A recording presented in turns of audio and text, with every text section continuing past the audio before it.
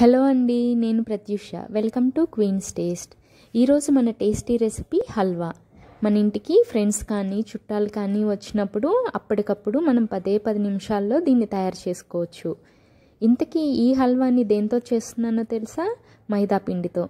ఇందులో మైదా టేస్ట్ కానీ స్మెల్ కానీ మీకు అస్సలు తెలియదు బయట షాప్లో కొనుక్కున్న హల్వా ఎంత టేస్టీగా ఉంటుందో అంతే టేస్టీగా మనం దీన్ని ఇంట్లోనే తయారు చేసుకోవచ్చు. మరి ఇంత టేస్టీ హల్వాని ఎలా తయారు చేసుకోవాలో చూద్దామా? ఒక బౌల్లో ఒక కప్ మైదా పిండి ఒక కప్ షుగర్ ఒక కప్ వాటర్ని వేసుకొని బాగా మిక్స్ చేసుకోవాలి. మిక్స్ చేసుకోవడానికి హ్యాండ్ బ్లెండర్ని యూజ్ చేసుకోండి. హ్యాండ్ బ్లెండర్ వలన మైదా పిండి ఉండలు కట్టకుండా బాగా కలిసిపోతుంది. ఇందులో పావు టీ స్పూన్ యాలకల పొడి ఆరెంజ్ కానీ గ్రీన్ కానీ ఫుడ్ కలర్ని ఒక చిటికెడు వేసుకొని బాగా మిక్స్ చేసుకోవాలి.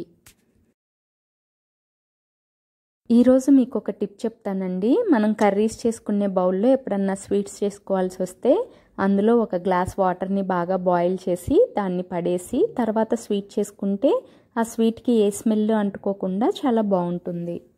మనం హల్వా చేసుకోవడానికి ఒక ప్యాన్లో రెండు టేబుల్ స్పూన్ల నెయ్యిని తీసుకుందాం.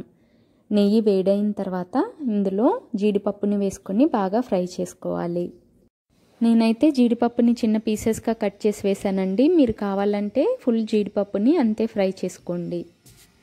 వేగిన జీడిపప్పుని వేరే ప్లేట్లోకి తీసుకొని నెయ్యి కొద్దిగా వేడిగా ఉన్నప్పుడు మనం ముందే రెడీ చేసి పెట్టుకున్న మైదా పిండి మిక్స్ని ఇందులో వేసుకొని బాగా కలుపుకుంటూ ఉండాలి.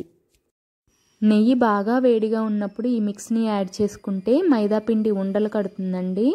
సో నెయ్యి అంత వేడిగా లేకుండా చూసుకొని అప్పుడు ఈ మైదా పిండిని యాడ్ చేసుకోవాలి. స్టవ్ని లో ఫ్లేమ్లో పెట్టుకుని మైదాపిండి దగ్గర పడే వరకు ఉండలు కట్టకుండా కలుపుకుంటూనే ఉండాలి. మీకు ఎప్పుడన్నా పిండి ఉండలు కడుతుందేమో అని డౌట్ వస్తే హ్యాండ్ బ్లెండర్తో ఒకసారి దాన్ని బాగా మిక్స్ చేసుకోండి. అప్పుడు పిండి మళ్ళీ స్మూత్గా ఉండలు లేకుండా వస్తుంది. ఒక స్పూన్ నెయ్యిని యాడ్ చేసుకొని హల్వా దగ్గర పడే వరకు కలుపుకుంటూనే ఉండాలి. హల్వా దగ్గర పడిన తర్వాత నెయ్యి అదే బయటకు వస్తుంది.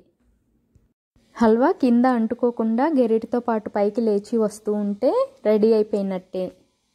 చూడండి ఎంత ఫాస్ట్గా ఎంత ఈజీగా మనం హల్వాని రెడీ చేసేసుకున్నామో.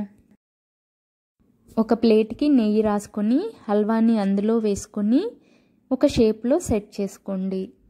ముందే వేయించి పెట్టుకున్న జీడిపప్పుతో డెకరేట్ చేసుకొని బాగా ఆరిపోయిన తర్వాత మనకి కావాల్సిన సైజులో మనకు కావాల్సిన షేప్లో వీటిని కట్ చేసుకొని పెట్టుకోవాలి.